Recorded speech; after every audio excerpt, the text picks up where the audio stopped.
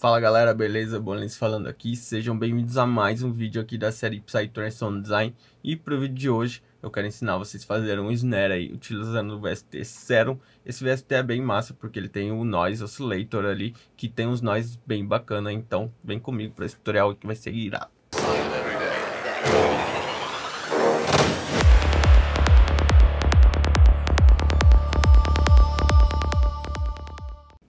Primeiro passo, como sempre, a gente desenhou o nosso MIDI aqui, tamanho de 4 kicks, a gente vai desenhar em 1.2 e 1.4 o nosso snare, certo? Dupliquei os meus MIDIs aqui, agora é, a gente vai pegar o VST Zero, vamos dar um init preset e a gente vai desligar esse oscilador A aqui, então vamos vir no noise, certo? Aqui tem alguns noise da parte analog, attacks, então a gente vai vir no analog aqui. Eu quero utilizar um que tem aqui dentro que se chama Alpha NZ. Esse mesmo aqui, ó. Aí eu desenhei já o nosso MIDI aqui, certo? Então agora a gente vai ver como é que tá tocando aqui.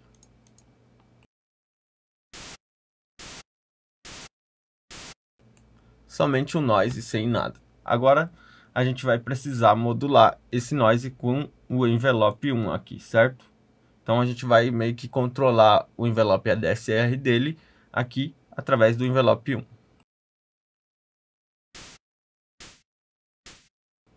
Nessa lupinha aqui, a gente consegue estar tá dando o zoom para deixar o negócio um pouco mais preciso.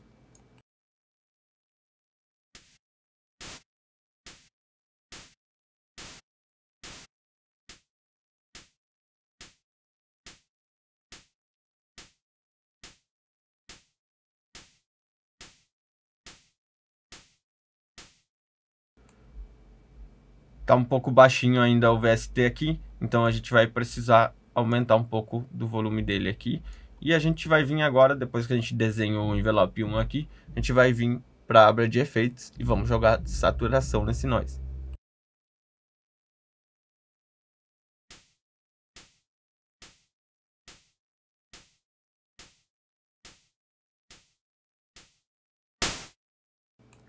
Particularmente eu gosto dessas ondas mais distorcidas para esse tipo de snare.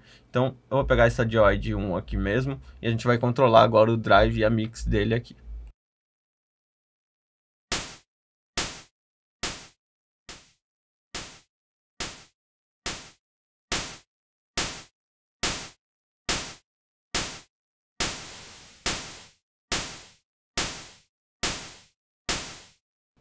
Agora que a gente aumentou um pouco da saturação ali, a gente vai precisar mexer um pouquinho aqui no envelope de novo, porque a saturação acaba saturando os harmônicos ali, às vezes que está no decay, e então é interessante a gente mexer agora com a saturação junto.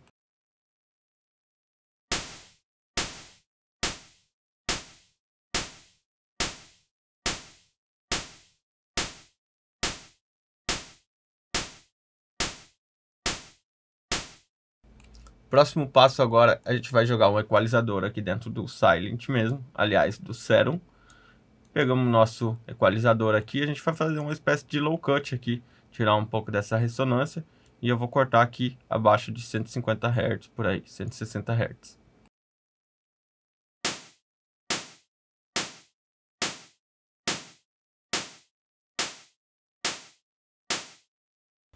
Agora a gente vai precisar ouvir com a track para a gente poder ter uma ideia de como está tocando esse snare aí.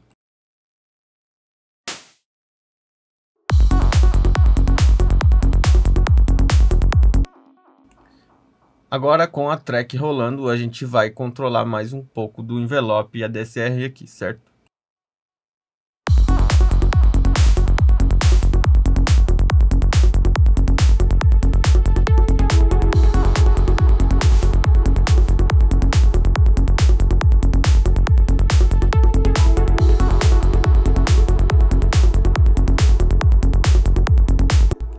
Tá um pouco alto, né? Bastante alto, mais alto do que os outros elementos.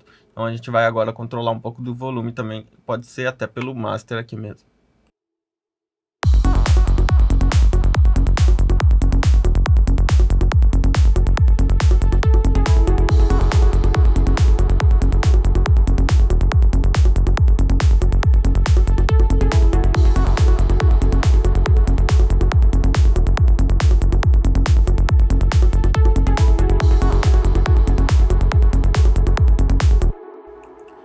Tá quase bom, a gente vai trabalhar um pouco mais na saturação aqui agora.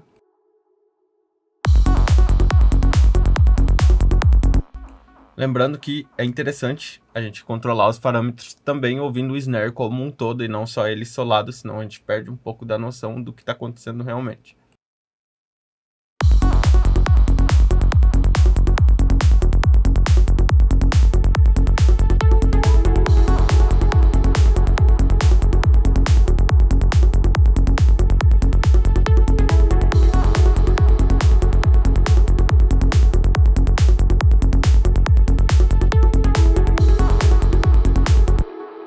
A gente pode estar tá testando também é, vir aqui no oscilador e colocar essa função aqui, ó, porque com essa função ativada a gente pode controlar aqui o pitch através das notas aqui e ver se de repente a gente acha uma nota que fica mais interessante para o snare.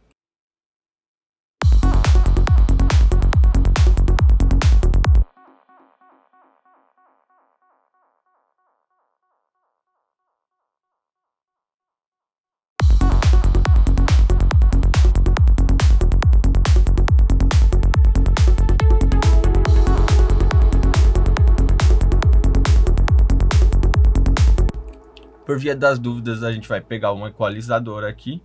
Nossa, pra quê? Que ele é bem limpo. Então, eu vou cortar as coisas aqui abaixo de 200 Hz, mais ou menos.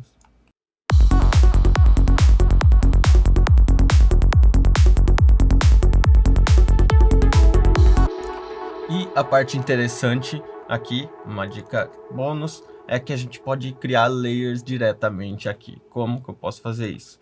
Posso vir duplicar essa nota aqui e testar em diferentes lugares. Vamos ver como é que vai ficar.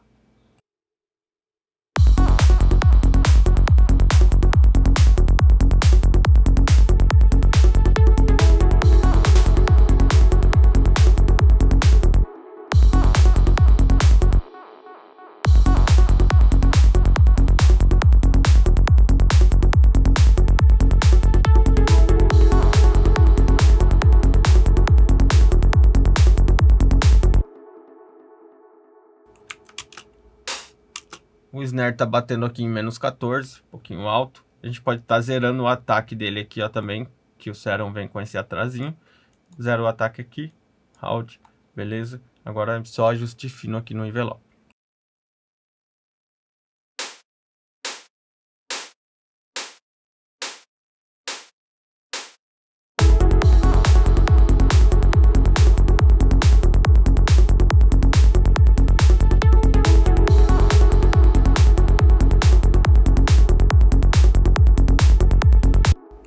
Sentindo ele um pouco distorcido demais. Então a gente vai fazer mais um ajuste aqui. Não existe uma fórmula secreta de fazer um snare perfeito. Você tem que fazer ouvindo e sempre mexendo nos parâmetros ali testando.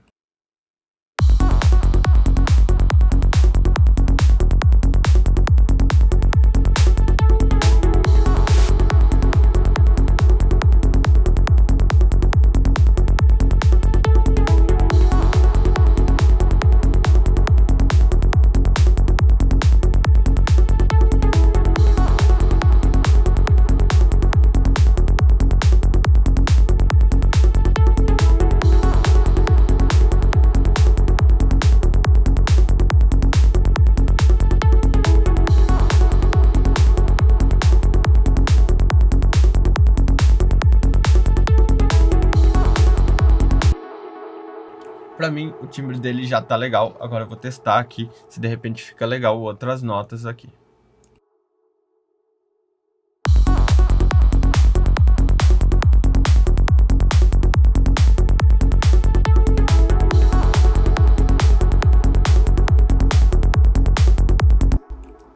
Se quiser, a gente pode estar tá testando outros noises aqui, outras ondas noises mas para mim essa tá legal aqui, já tá soando legal, mas vamos testar aqui para conhecer melhor.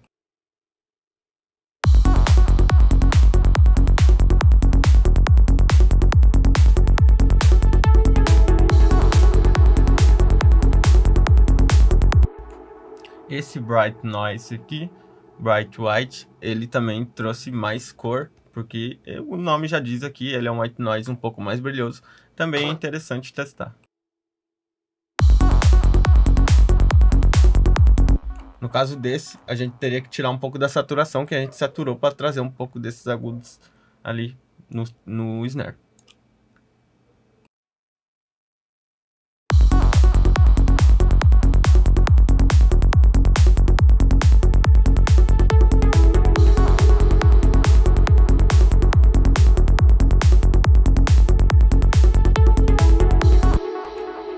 Obviamente, ele nunca vai ficar exatamente igual um snare gravado ali com um microfone profissional e tudo mais em estúdio, mas ele pode te ajudar bastante esse snare, esse snare aqui. Se você, por exemplo, tem um snare já que você gostou, mas está faltando algum transiente, você pode estar tá jogando esse sintetizador aí para cobrir os transientes que você está procurando no teu snare, fazendo camada e deixando o snare top. espero que vocês tenham gostado desse tutorial. Quem gostou, se inscreve no canal aí, deixa seu like seu comentário para nós e até o próximo vídeo. Valeu!